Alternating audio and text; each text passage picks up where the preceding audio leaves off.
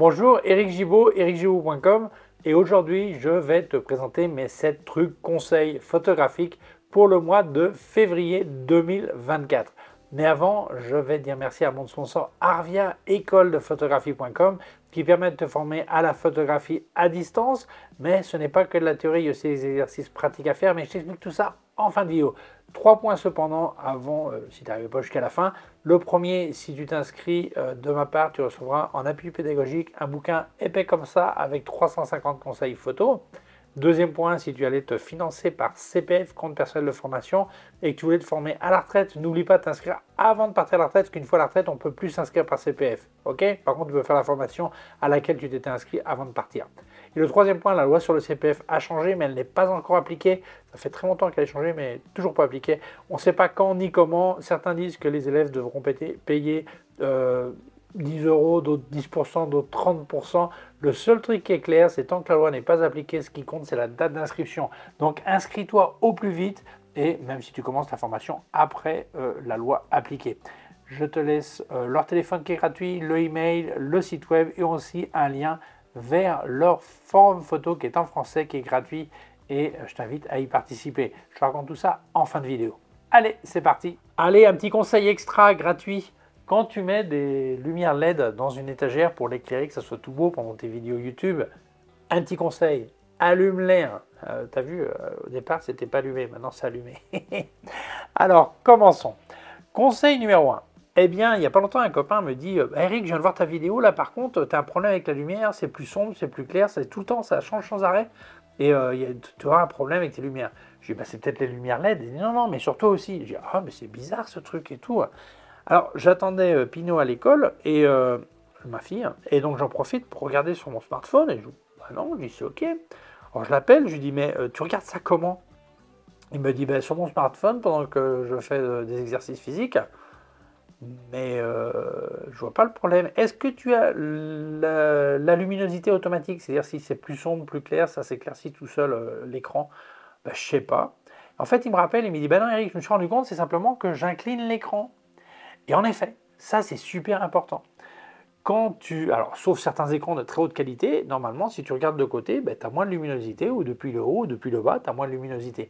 Donc c'est bien important que quand tu regardes euh, quelque chose sur un écran, que ce soit pour éditer ou comme spectateur, qu'il soit bien parallèle à tes yeux. Donc c'est euh, important euh, que ça soit bien comme ça, de face, parce que sinon tu vas avoir une perte de luminosité. Et autre chose importante, c'est désactiver les automatismes de luminosité. Parce que sinon, tu sais jamais vraiment où tu en es. Alors, comme spectateur, ça n'a pas d'importance. Mais quand tu es en train d'éditer une photo, bah, tu sais plus. D'un coup, il y a un peu plus de lumière. Bah, l'écran, l'intensité baisse, ou elle remonte, tout ça. Il faut être dans une ambiance le plus stable possible. Et autre chose, je ne sais pas si c'est comme ça sur Windows, mais enfin sur les Mac et tout ça, ils ont mis le True Tone. Et c'est un système qui fait que euh, quand il y a moins de lumière, euh, ça donne une lumière plus chaude. C'est pour éviter de te cramer les yeux quand tu regardes ton écran la nuit ou le soir. Ça désactive parce que ça change aussi les couleurs. Donc tu patines complètement, tu sais plus ce que tu es en train de faire.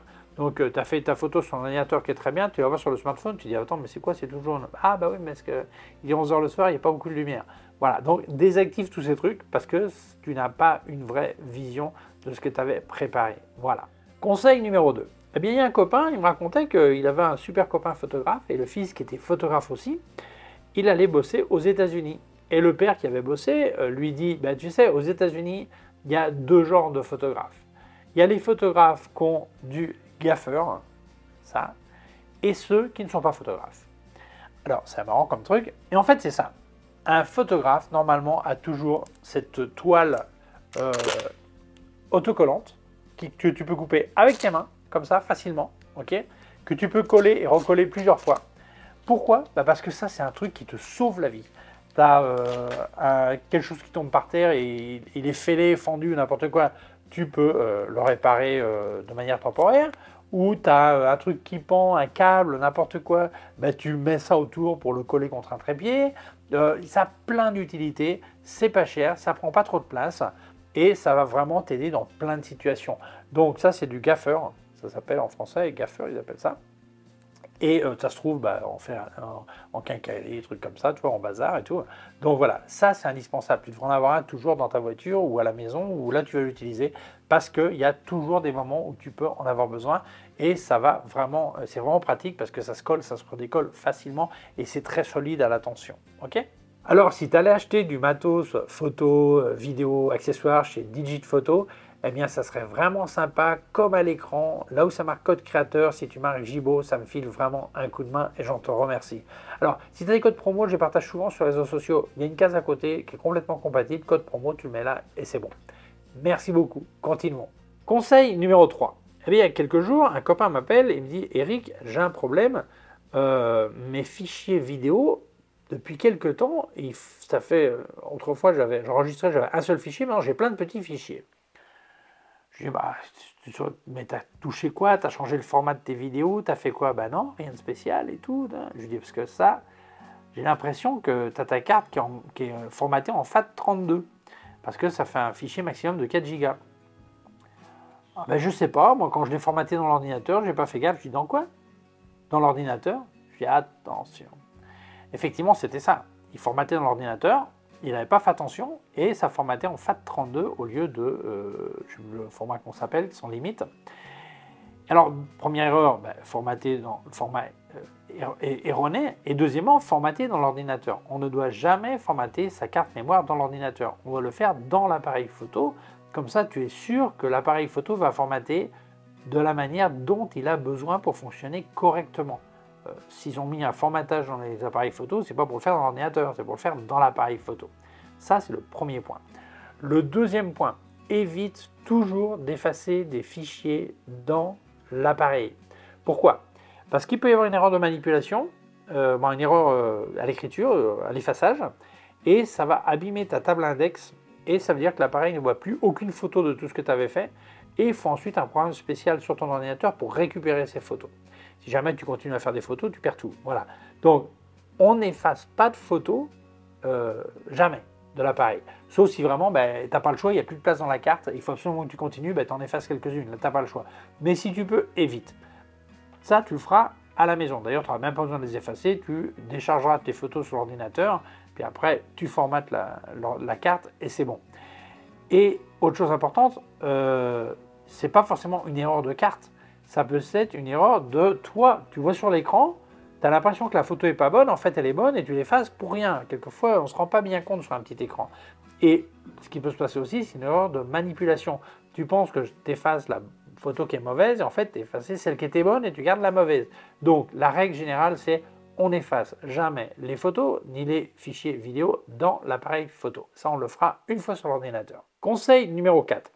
Quand tu vas faire une série de photos euh, avec une continue, par une série de produits ou euh, une séance photo dans une ambiance euh, stable, de lumière et tout ça, travaille toujours complètement en mode manuel, aussi bien ISO que diaphragme, que vitesse, que balance des blancs.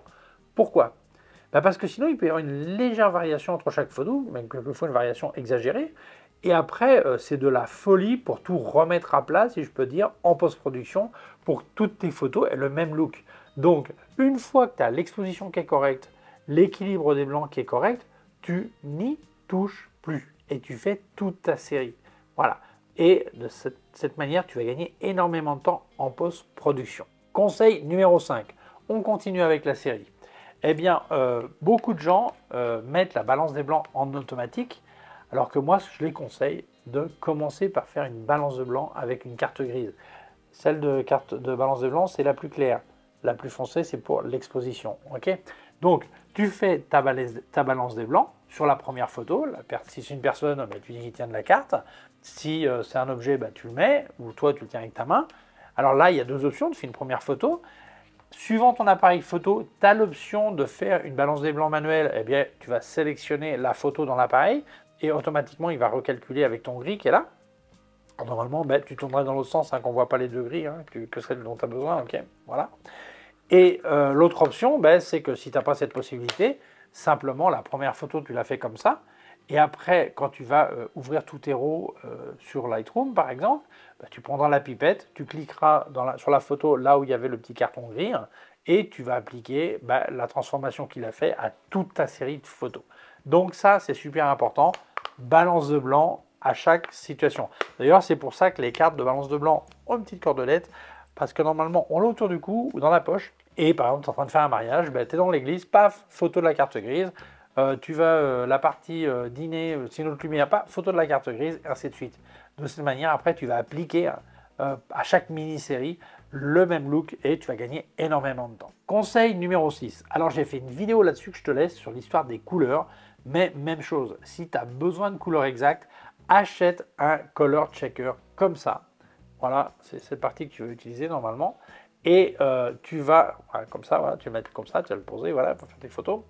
Et la même chose qu'avec la carte grise, tu vas faire une première photo, photo de produit par exemple, ça c'est important, ou en mode première photo de ça. Et après, dans l'ordinateur, tu vas faire un profil basé sur cette situation de lumière avec le color checker. Et après, ce profil, tu vas l'appliquer euh, bah, quand tu vas ouvrir tes photos sur Lightroom. Et donc, toute ta série aura exactement les mêmes couleurs. Donc, si pour toi, la couleur, c'est important, fais ce petit investissement achète un color checker qui lui d'ailleurs a les deux, il a les cartes grises euh, pour les balances de blanc, l'équilibre de blanc et aussi les couleurs. Voilà. Conseil numéro 7. Il faut avoir besoin de matériel de nettoyage et de protection. Alors bientôt, euh, je présenterai officiellement euh, la pièce à côté, je suis en train de finir de décorer, et il y a un sol qui a des carreaux noirs et blancs. Et bah, si tu arrives avec tes chaussures de la rue, bah, tu vas attacher le sol. Alors c'est nettoyable, c'est pas un problème, mais si je vais faire des photos, il y a des gens qui rentrent et tout ça, c'est un peu le bazar. Voilà. Donc deux options, ou ils enlèvent les chaussures, ou tu achètes des petits chaussons, genre des chaussons de, euh, salle d'opération, que tu mets par-dessus les chaussures, les gens peuvent marcher. Donc ça, c'est une option. Et euh, évidemment, si c'est une personne qui va poser, ben, tu essaies de nettoyer autour, mais sinon, tu deviens fou en post-production à nettoyer toutes les traces de pas. Voilà, donc indispensable d'avoir ça. Ou ils enlèvent les chaussures, ils sont en chaussettes ou pieds nus, peu importe. Enfin, ça de voir, ou à toi de voir. Et euh, l'autre option la plus simple, c'est d'avoir des petits chaussons comme ça, ils sont jetables, c'est pas cher, et voilà, c'est aussi simple que ça.